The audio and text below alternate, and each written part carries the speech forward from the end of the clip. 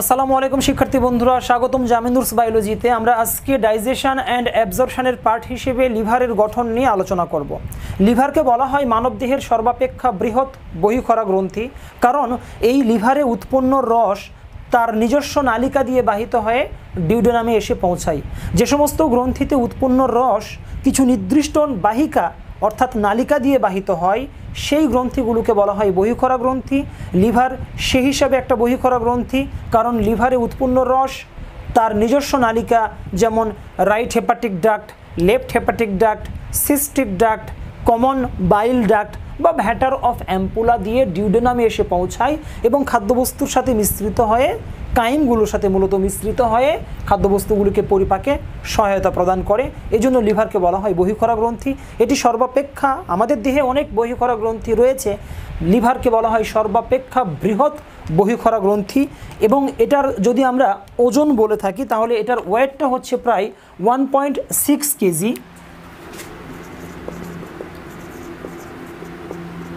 One point six KG.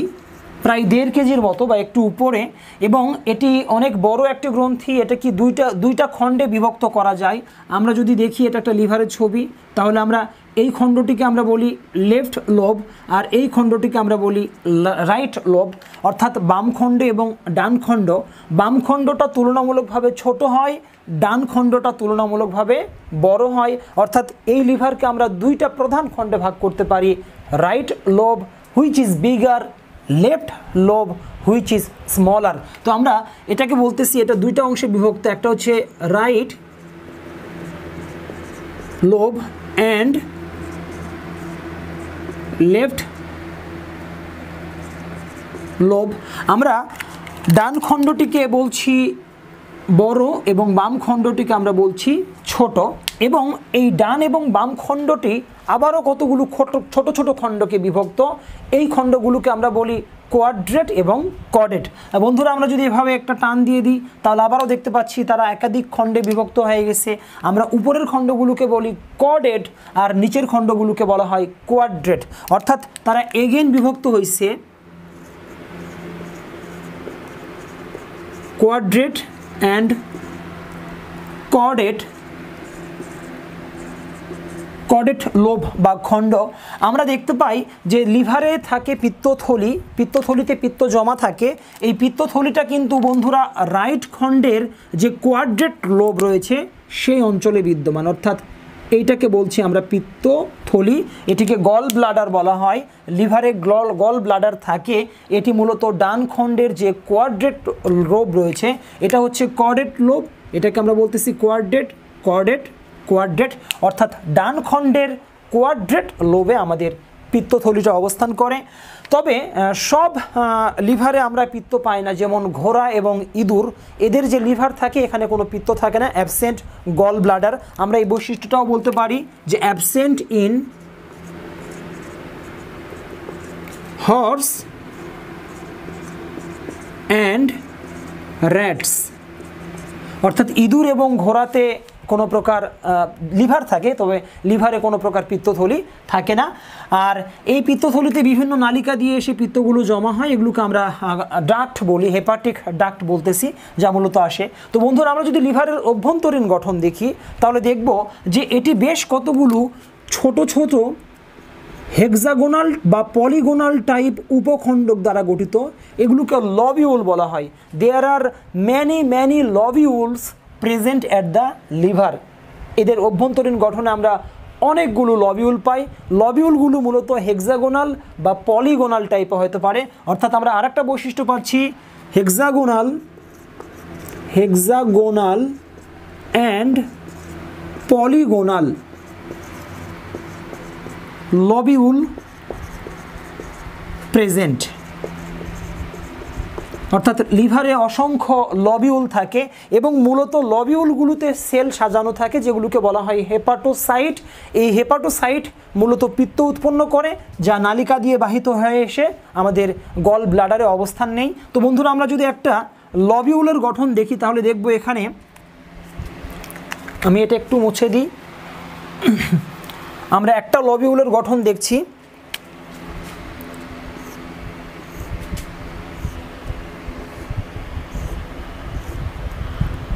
আমরা এটাকে hexagonal বলছি, অর্থাৎ এক, দুই, তিন, চার, পাঁচ, ছয় পলিগোনালও হতে পারে, ছয়ের অধিক তাদের প্রান্ত থাকতে পারে। ওগুলোকে পলিগোনাল টাইপ লবিউল বলা হয়। আমরা একটা হেক্সাগোনাল টাইপ নিয়ে কথা বলতেছি। এটা একটা লবিউল লবিউলের সব থেকে বাহিরের দিকে একটি আবরণ থাকে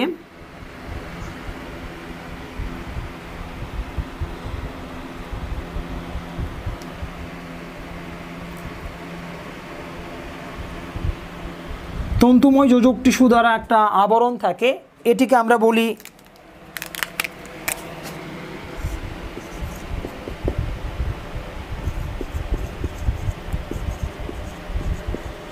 Glisson's capsule.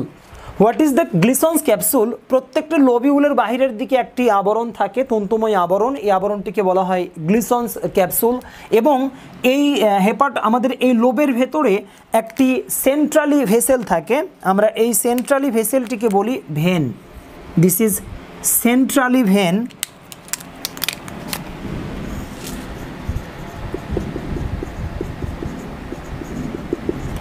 এবং এই প্রত্যেক এই ভেন থেকে লবিউলের বিভিন্ন অক্ষ বরাবর কতগুলো প্লেট থাকে, এগুলোকে আমরা হেপাটিক প্লেট বলি। লিভার বিদ্যমান এই প্লেটগুলোকে বলা হচ্ছে hepatic plate this is hepatic plate এই প্লেটগুলোতে আমাদের হেপাটোসাইট সজ্জিত থাকে।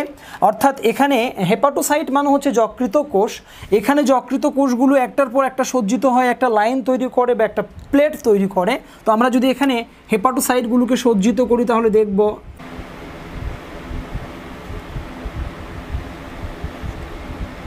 হেপাটোসাইটগুলো আমাদের এই প্লেটে সজ্জিত আছে।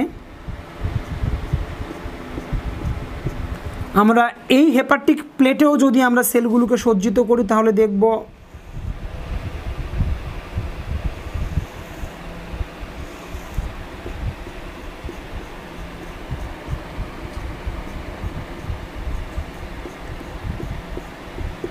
হেপাটোসাইট যকৃতে বিদ্যমান কোষ। অর্থাৎ সেলগুলো এমনভাবে লাইন করে সজ্জিত হয়েছে যেন একটা তারা প্লেট গঠন করছে। আমরা এই প্লেটগুলোকে বলি hepatic plate hepatic plate is nothing but the arrangement of hepatic cell hepatic সেলগুলোই line বরাবর সজ্জিত হয়ে হেপাটিক প্লেট গঠন করে এবং এই দুইটি হেপাটিক প্লেটের মাঝখানে যে ফাঁকা জায়গা থাকে, এই ফাঁকা জায়গাটাকে আমরা বলি সাইনোসয়েড অর্থাৎ আমরা এই ফাঁকা জায়গাটাকে বলছি সাইনো সয়েড লিভারের লবিউলে বিদ্যমান দুইটি হেপাটিক প্লেটের মাঝখানে থাকা ফাঁকা জায়গা। এই ফাঁকা জায়গাগুলোতে কিছু সেল থাকে। আমরা এই সেলগুলোকে ম্যাক্রোফাজ বলি। অনিয়ত আকার বিশিষ্ট ম্যাক্রোফাজ। আমরা জানি ম্যাক্রোফাজ হচ্ছে ফ্যাগোসাইটিক সেল, অর্থাৎ এরা জীবাণু ভক্ষণ করে, তো লিভারে এই ফ্যাগোসাইটিক সেলগুলো মূলত এরা লোকালি অবস্থান করে আমরা জানি মনোসাইট ব্লাডে ঘুরে বেড়ায় এবং ব্লাড থেকে টিস্যুতে মাইগ্রেট করে, তো টিস্যুতে এসে এরা ম্যাক্রোফাজে পরিণত হয়। লিভারে যে ম্যাক্রোফাজ থাকে, আমরা সেই সেলগুলোকে বলি Kupffer cell. So these are Kupffer cells, অর্থাৎ এরা ফ্যাগোসাইটিক সেল যা জীবাণু ভক্ষণ করে, এগুলো মূলত সাইনোসয়েডে অবস্থান করে এবং আমাদের যে হেপাটিক প্লেট যা হেপাটোসাইট দিয়ে বিন্যস্ত বা সজ্জিত, এই সেলগুলোর বাহিরের দিকে আমরা কিছু সেল পাই, এক্সট্রা সেল। এই সেলগুলোকে আমরা বলছি ফ্যাটি সেল। এরা মূলত ফ্যাট সঞ্চয় করে জাস্ট হেপাটিক প্লেটের সঙ্গে লাগানো অবস্থায় থাকে, সংলগ্ন থাকে। হেপাটিক প্লেট সংলগ্ন যে সেল অবস্থান করে, যা মূলত লিভারে থেকে ফ্যাট সঞ্চয় করে, অর্থাৎ এখানে ফ্যাট সমৃদ্ধ সেল, এই সেলগুলোর সাইটোপ্লাজমে প্রচুর ফ্যাট থাকে। এই সেলগুলোকে আমরা বলি ফ্যাটি সেল। ওকে বন্ধুরা, আমরা যে এই ফাঁকা জায়গাটা পাচ্ছি সাইনোসয়েড এখানে মূলত ফাঁকা থাকে না, এখানে মূলত কিছু রস থাকে, এখানে কানেকটিভ টিস্যু থাকে কিছু যোজক টিস্যু থাকে থেকে এই জায়গাটাকে ফিল করে, আমরা এই জায়গাটাকে সাইনোসয়েড বলি এবং সাইনোসয়েডের ভেতরে থাকে মূলত কুফার সেল যা জীবাণু ধ্বংস করে। না বন্ধুরা, আমরা যদি দেখি যে আমাদের এই প্লেটে থাকা সেলগুলো কীভাবে বিন্যস্ত থাকে। প্লেটে থাকা সেলগুলোকে যদি আমরা এই জায়গাতে একটু আঁকাই, তাহলে দেখব যে আমরা এইটাকে একটা প্লেট বলছি, এইটা আর একটা প্লেট, এবং এই প্লেটগুলোতে সজ্জিত আছে cell. Cell one, two, three, four, five, six, seven, one, two, three, four, five, six, seven. আমরা দেখতে পাচ্ছি যে দুটি কোষের মাঝখানে একটু ফাঁকা জায়গা থাকে হেপাটোসাইটে, এই ফাঁকা জায়গাগুলোকে আমরা বলি হেপাটিক ক্যানালিকুলি। চ্যানেল থেকে শব্দটি আসছে। চ্যানেল মানে রাস্তা বা নল। আর সূক্ষ্ম নলগুলোকে আমরা বলছি hepatic canaliculi. This is this are hepatic canaliculi. আমরা জানি যে আমাদের এই হেপাটোসাইটগুলো থেকে পিত্ত উৎপন্ন হয় উৎপন্ন পিত্ত বা পিত্ত রস, এগুলো আমাদের সেল থেকে বাহিরে বেরিয়ে আসে, অর্থাৎ ক্যানালিকুলিতে আসে এবং সকল ক্যানালিকুলিগুলো মূলত এক জায়গায় এনে রসটাকে জমা করে, এই প্লেটের ঠিক মাঝখানে জমা করে এবং এই মাঝখান দিয়ে এই রসগুলো প্রান্তের দিকে ধাবিত হয়, অর্থাৎ প্রান্তের দিকে ধাবিত হয়। এই জায়গাতে আমরা একটা নলাকার গঠন পাই। প্লেটের ঠিক এই জায়গায় আমরা একটা নলাকার গঠন পাই। Having duct. এবং এই পিত্তরসগুলো হেভিং ডাক্ট দিয়ে বাহিত হয়ে এখানে আর একটি গঠন থাকে। আমরা এখানে এসে জমা হয়, এটিকে আমরা বলি বাইল ডাক্ট। তাহলে আমরা দেখতে পাচ্ছি আমাদের হেপাটিক প্লেটে বিদ্যমান হেপাটোসাইট লাইন আকারে সজ্জিত থাকে এবং হেপাটোসাইট থেকে উৎপন্ন পিত্তগুলো ক্যানালিকুলি দিয়ে আমাদের ঠিক প্লেটের মাঝখানে এসে অবস্থান নেই এবং প্লেটের মাঝখান দিয়ে বাহিত হয়ে তারা হেভিং ডাক্টের মাধ্যমে তারা বাইল ডাক্টে গিয়ে জমা হয়। অর্থাৎ হেভিং ডাক্টের ভেতর দিয়ে বাইল ডাক্টে গিয়ে জমা হয়। তো আমরা যদি দেখি যে এইখানে যে আমাদের হেপাটিক প্লেট রয়েছে, এই প্লেটের ভেতর দিয়ে আমাদের উৎপন্ন পিত্তরস উৎপন্ন পিত্তরস সামনের দিকে অগ্রসর হয় এবং সব থেকে সামনের দিকে থাকে আমাদের হেভিং ডাক্ট। এই হেভিং ডাক্ট দিয়ে বাহিত হয়ে তারা একেবারে প্রান্তে গিয়ে জমা হয় এবং এখানে থাকে আমাদের bile duct. This is bile duct. সেই হিসাবে আমরা এখানেও একটা বাইল ডাক্ট পাবো, আমরা এখানেও বাইল ডাক্ট পাবো। এভাবে আমাদের এই হেক্সাগোনালের ছয়টি কোণেই মূলত আমরা বাইল ডাক্ট পাবো, যা হেপাটোসাইট থেকে উৎপন্ন পিত্তরসগুলোকে আমাদের হেপাটো প্লেটের ভেতরে থাকা মিডিল পার্ট এই ক্যানালি কুলি দিয়ে ডাক্টের ভেতর দিয়ে আমাদের এটাকে বলতেছি হেপাটিক বাইল ডাক্ট এই বাইল ডাক্টে গিয়ে পৌঁছাই।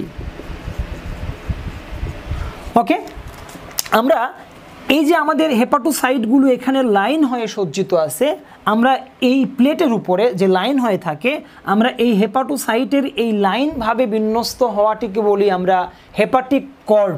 অর্থাৎ হেপাটোসাইটের এই উলম্ব বরাবর বিচরণ বা বিন্যাসকে বলা হয় this is hepatic cord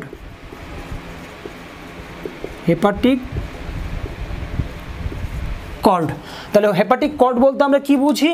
আমাদের হেপাটিক প্লেটে বিন্যস্ত হেপাটোসাইটগুলো একটির পর একটি সজ্জিত হয়ে যে চেন গঠন করছে, এই চেনটিকে বলা হয় হেপাটিক কর্ড তাহলে হেপাটিক প্লেটে আমি এপাশে একটা হেপাটিক কর্ড পাচ্ছি, এপাশে একটা হেপাটিক কর্ড পাচ্ছি। মাঝখানের নলটিকে আমরা বলছি ক্যানালিকুলি শুধু মাঝখানের না, এদের উপরে নিচেও ক্যানালিকুলি থাকে। সব জায়গাতেই ক্যানালিকুলি থাকে, যা মূলত হ্যাভিং ডাক্ট দিয়ে বাইল ডাক্টে গিয়ে আমরা পিত্তগুলোকে জমা করি। এবং প্রত্যেকটি বাইল ডাক্ট পশ্চাতে ধাবিত হয় এবং এই এখানে ছয়টি বাইল ডাক্ট দেখা যাচ্ছে। এই ছয়টি বাইল ডাক্ট একসাথে গিয়ে এক জায়গায় মিলিত হয়, একটা কেন্দ্রস্থ বাইল ডাক্ট তৈরি করে, যার মাধ্যমে আমরা এই রাইট ডাক্ট লেফট ডাক্ট দিয়ে আমরা রসগুলোকে এনে পিত্তথলিতে জমা করতে পারি। তাহলে প্রত্যেকটি লবিউলে থাকা হেপাটোসাইট মূলত পিত্ত উৎপাদনে ভূমিকা পালন করে। না বন্ধুরা, আমরা ঠিক এই বাইল ডাক্টের সঙ্গে সংযুক্ত একটা নালিকা দেখি। এই নালিটিকে আমরা বলি হেপাটিক পোর্টাল ভেন আমরা যদি এখানে দেখাই, আমরা একটা বড় আকারের নালিকা দেখতে পাচ্ছি ব্লাড ভেসেল আমরা এই ব্লাড ভেসেলটাকে বলি this is hepatic portal portal vein মানে আমরা জানি যে কোনো শিরা কোনো অঙ্গ থেকে এসে যদি হেপাটিকের ভেতরে ঢোকে, লিভারে ঢোকে এবং লিভারে ঢুকে সে যদি শাখা প্রশাখায় বিভক্ত হয়, আবার হৃৎপিণ্ডের দিকে ধাবিত হয়, তখন এই ভেনগুলোকে আমরা বলি পোর্টাল ভেন।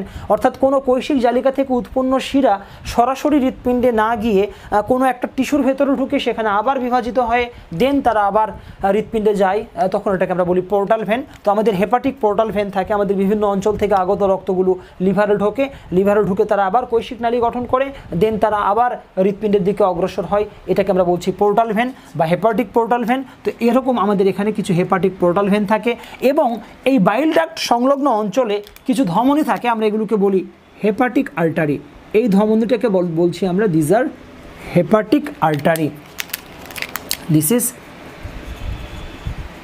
hepatic artery তাহলে এরকম অসংখ্য লবিউল দিয়ে আমাদের লিভার সজ্জিত। আমরা এখানে দেখতে পাচ্ছি there are many lobule present in our lobe hepatic lobe hepatic lobe মোটা মূলত চারটি খণ্ডে বিভক্ত। বড় দুটি খণ্ডকে আমরা বলি রাইট লোভ লেফট লোভ এবং এই খণ্ডগুলো আবার ছোট ছোট খণ্ডে বিভক্ত, যেটিকে বলা হয় কোয়াড্রেট এবং কডেট আমাদের কোয়াড্রেট অঞ্চলে গল ব্লাডার থাকে, কিছু কিছু প্রাণীদের লিভারে গল ব্লাডার থাকে না, ঘোড়া এবং ইঁদুর। আর প্রত্যেকটি লোভ বা খণ্ড, সেটা বড় হোক বা ছোট হোক, সেটা রাইট হোক বা লেফট হোক, সেটা কোয়াড্রেট হোক বা কডেট হোক, এই প্রত্যেকটি লোভ অসংখ্য হেক্সাগোনাল বা পলিগোনাল টাইপ লবিউল দিয়ে গঠিত। আর প্রত্যেকটি লবিউলে অসংখ্য সেল থাকে। এই সেলগুলোকে বলা হচ্ছে হেপাটোসাইট। এই হেপাটোসাইট সেলগুলো আমাদের যে কেন্দ্রস্থ বাহিকা থাকে, এটাকে সেন্ট্রাল ভেন বলা হচ্ছে। এই কেন্দ্রস্থ শিরাকে কেন্দ্র করে প্লেট আকারে সজ্জিত থাকে। মানে যে প্লেটের উপরে সেলগুলো সাজানো আছে, সেটাকে আমরা বলি হেপাটিক প্লেট আর এই প্লেটে বিন্যস্ত সেলগুলো একটার পর একটা সজ্জিত হয়ে যে লাইন গঠন করছে, এই লাইনটিকে বলা হয় hepatic cord hepatic cord is nothing but the line of the hepatocyte হেপাটোসাইটগুলো একটার পর একটা বিন্যস্ত হয়ে যে চেন তৈরি করছে, এই চেনটিকে বলা হয় হেপাটিক কর্ড আর হেপাটিক কর্ডটা যে লাইনে থাকে, সেই লাইনটিকে বলা হচ্ছে হেপাটিক প্লেট এখন আমাদের হেপাটিক কর্ড বা হেপাটিক প্লেটে সেলগুলো একেবারে ঘনভাবে থাকে না, একটু ফাঁকা ফাঁকা থাকে। এই ফাঁকা ফাঁকা জায়গাগুলোকে বলা হয় ক্যানালিকুলি আর হেপাটোসাইট থেকে উৎপন্ন পিত্তগুলো ক্যানালিকুলিতে আসে। এই ক্যানালিকুলি দিয়ে আমরা মোটামুটি সেন্ট্রাল ক্যানালিকুলিতে পৌঁছাই রসগুলোকে নিয়ে, এবং সেন্ট্রাল ক্যানালিকুলি আমাদের হেভিং ডাক্টের ভেতর দিয়ে বাইল ডাক্টে গিয়ে পৌঁছায়। আর প্রত্যেকটি বাইল ডাক্ট যখন আমাদের পিত্ত পাই তখন এগুলো পশ্চাতে সামনে পেছনের দিকে যায় এবং সামনের দিকে আসে। এরকমভাবে, এটা আমরা প্রস্তচ্ছেদ নিয়েছি। সামনের দিকে বা পেছনের দিকে গিয়ে তারা একটা সেন্ট্রালি হেপাটিক ডাক্ট তৈরি করে, যা মূলত রাইট এবং লেফট হিসেবে আমাদের সিস্টিক ডাক্ট দিয়ে আমাদের লিভারে এসে পিত্তগুলোকে জমা করে। আমরা দুইটি হেপাটিক প্লেটের মাঝখানের এই অঞ্চলটিকে বলি সাইনোসয়েড। সাইনোসয়েডে মূলত কিছু তন্তুময় যোজক টিস্যু থাকে এবং এখানে কিছু ম্যাক্রোফাস থাকে। ফাগোসাইটিক সেল, লিভারে যে ম্যাক্রোফাস থাকে সেটাকে আমরা কুফার সেল বলি। আমাদের ব্রেনে যে ম্যাক্রোফাস থাকে সেটাকে আমরা গ্লিয়াল সেল বলি। এরকম বিভিন্ন জায়গায় যে সমস্ত ম্যাক্রোফাস কোনো টিস্যুতে স্থায়ীভাবে অবস্থান করে তাদেরকে আমরা বিভিন্ন নামে ডাকি দেন এই ম্যাক্রোফাসগুলো অবস্থান করে এবং আমাদের এই হেপাটিক প্লেট বা হেপাটিক কর্ডে এর ঠিক সংলগ্ন কিছু ফ্যাটি সেল থাকে যারা মূলত ফ্যাট সঞ্চয় করে। এই সেলগুলো আমরা বলে থাকি লিভার অনেক সময় ফ্যাটি হয়ে যায় মানে আমাদের এই হেপাটিক প্লেট বা হেপাটিক কর্ডের ঠিক পাশে বিন্যস্ত ফ্যাটি সেলগুলোতে যদি ফ্যাটের পরিমাণ বেড়ে যায় স্বাভাবিকের চাইতে যদি অতিরিক্ত ফ্যাট তারা সঞ্চয় করে, সেক্ষেত্রে আমরা তখন লবিউলে ফ্যাটের পরিমাণ বেড়ে যায় লিভারে ফ্যাটের পরিমাণ বেড়ে যায়। আমরা এই রোগটিকে বলি ফ্যাটি লিভার ফ্যাটি লিভার এটা একটা রোগ আর আমাদের এভাবে মূলত আমাদের উৎপন্ন রসগুলো বাইল ডাক দিয়ে আমাদের পৌঁছায়। তো আমি আশাবাদী এই ভিডিও টিউটোরিয়াল থেকে তোমরা লিভারের বিভিন্ন খণ্ড সম্বন্ধে একটা আইডিয়া লাভ করতে পারছ। প্রত্যেকটি খণ্ডেতে বিদ্যমান অসংখ্য লবিউল এবং প্রত্যেকটি লবিউল কীভাবে সেলগুলো বিন্যস্ত থাকে এবং সেলগুলো কীভাবে পিত্ত উৎপন্ন করে এবং পিত্তগুলোকে কীভাবে আমরা বাইল ডাকটে নিয়ে যাই, যা মূলত আবার কেন্দ্রস্থ বাইল ডাক দিয়ে আমাদের রাইট এবং লেফট হেপাটিক ডাক দিয়ে আমাদের পিত্তথলিতে সে জমা হয়। এই বিষয়টি তোমরা ব্যাখ্যা করতে পারবে। যদি আমার চ্যানেলটি ভালো লেগে থাকে, তাহলে অবশ্যই সাবস্ক্রাইব করবে বেল আইকন ক্লিক করবে দেন তোমাদের সাথে আবারও কথা হবে নতুন কোনো ভিডিও টিউটোরিয়ালে সবাইকে ধন্যবাদ জানিয়ে বিদায় নিচ্ছি। আসসালামু আলাইকুম রহমতুল্লাহ।